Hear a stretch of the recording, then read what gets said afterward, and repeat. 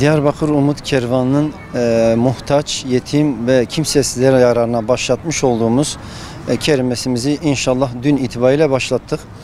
6 günlük sürecek olan bu kermesimizde 15 Temmuz Şehitler Parkı'nda gerçekleştireceğimiz bu e, etkinliğe e, başta Diyarbakır olmak üzere tüm hayır sa- sahipleri bağışlarımızı davet ediyoruz bu kermese.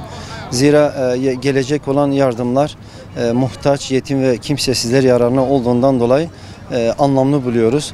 E, dolayısıyla bu güzel etkinliği e, gerçekleştirmek, e, sosyal dokuyu, en önemlisi yardımlaşmayı, dayanışmayı ve paylaşmayı sağlayacak olan bu güzel etkinliğe e, inşallah e, Diyarbakır halkı e, teveccüh gösterecek, desteklerini sunacak. Ben öncelikle bu kermesle alakalı olarak e, bir hususu dile getirmek istiyorum. E, bütün hanelerde, evlerde e, herkesin bir katkısını bekliyoruz ve şu ana kadar da böyle bir katkı görmüş bulunmaktayız.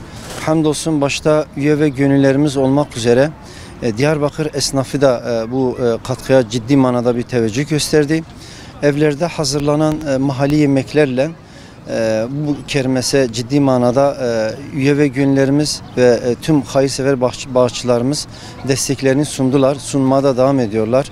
Dolayısıyla 6 günlük sürecek olan bu kermeste de inşallah pazar günü de e, Yetimler Vakfı'nın e, gerçekleştireceği Yetimler Yararına adlı olan konsere de e, böyle bir katkının olması elbette bizim için de güzeldir.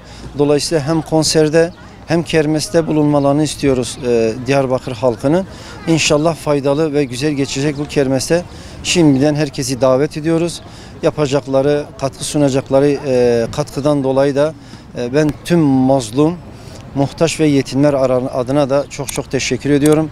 Rabbim kendilerinden e, razı olsun inşallah.